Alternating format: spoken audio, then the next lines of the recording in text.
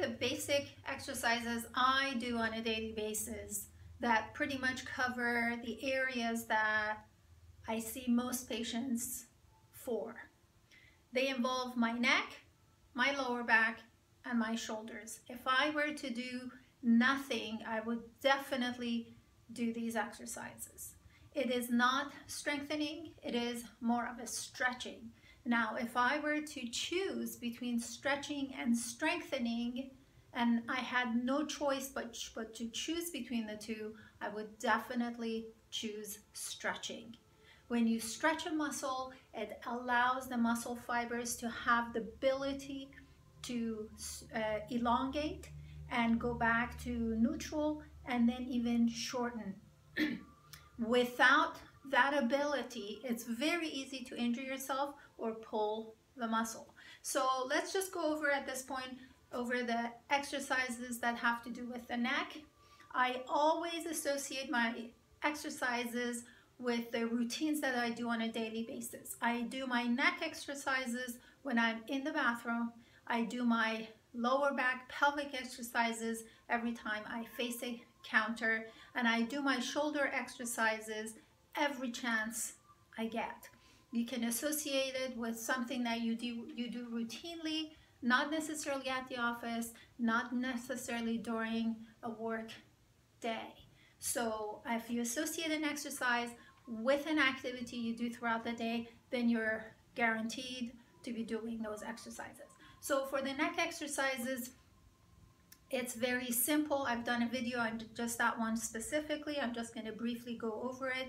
I I basically want to draw a circle, a half circle on my chest. So your neck needs to go all the way to the side as far as it goes. Don't push it too far and make sure that your head does not get tilted back as you reach there. So you don't want to be going that way. It needs to be as straight as possible with, your neck being as straight as possible with the head turned as far to towards the shoulder as possible. Then you bring your chin down. You draw your circle. You go to the very end. And when you're at the very end you bring your neck up. You do the same. If you do it rapidly you may get dizzy so do it slowly. Once you loosen things up, now you're gonna go towards the back. So as you're there, then you're gonna tilt your head back, start rotating until you get to that point, and then you go through the front circle. So I'm just gonna do one full circle this way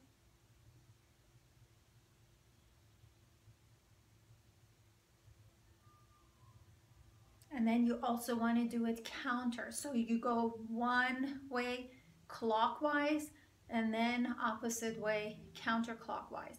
Why is the neck exercise to this extreme important?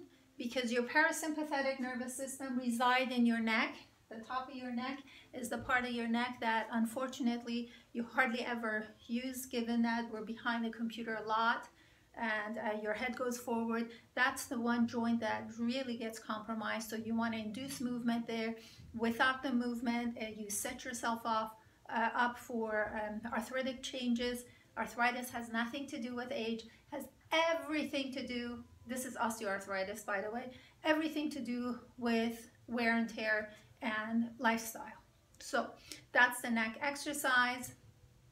Then when it comes to the lower back exercise every time I see a counter. So a bathroom counter, kitchen counter, at the office when it's a, um, if you go to a printer or you're standing against a desk, anything that's horizontal. I've done this exercise when you're standing up and you rock or you tilt your pelvis up as if you're, you're tilting it this way.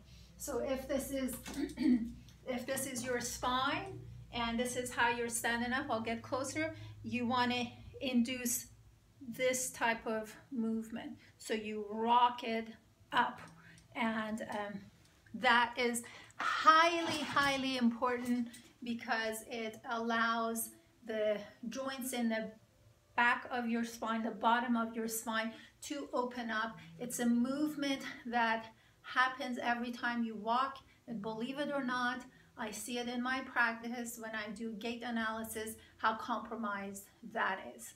Why is that important? That's the other end of your parasympathetic nervous system, as well as all the nerves that go to your internal organs like your um, intestine, which plays a huge role with your um, immune system, believe it or not. Your bladder, your, your reproductive organs, and um, there is one more, your intestine.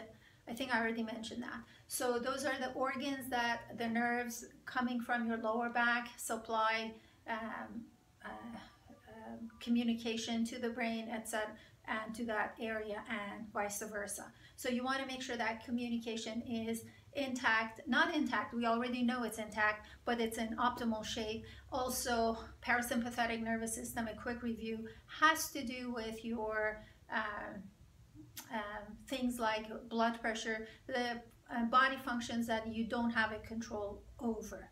Um, I've done a video on that very subject. You can search for that and find out. And then finally, when it comes to the shoulder exercises, it's very simple. It's to go behind your back. You go in front of your, not your back, I'm sorry, behind your neck, in front of your neck like that. And then you also want to be able to do this. If you can do those ranges of motion um, fully, and when you do it on a daily basis, you will be able to do that. If you do those, then um, um, you've pretty much covered uh, the very basic. Remember the shoulder joint plays a direct role to your upper mid back and your neck, which are highly, highly important. Your thoracic spine or your mid back has to do with your sympathetic nervous system.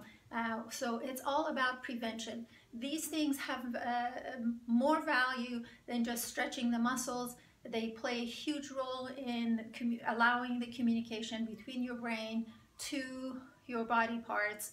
Um, um, just looking at the uh, structural component of that communication. Remember, you're the director and the designer of your own life, so design and direct it the way you want. If you have any questions, don't hesitate to email me. I'll make sure I put my email address here. And also I'm gonna post this on Facebook in case you have any questions. You can certainly Facebook message me. Please do not hesitate to share this with your loved ones and I will be in touch. You guys take care.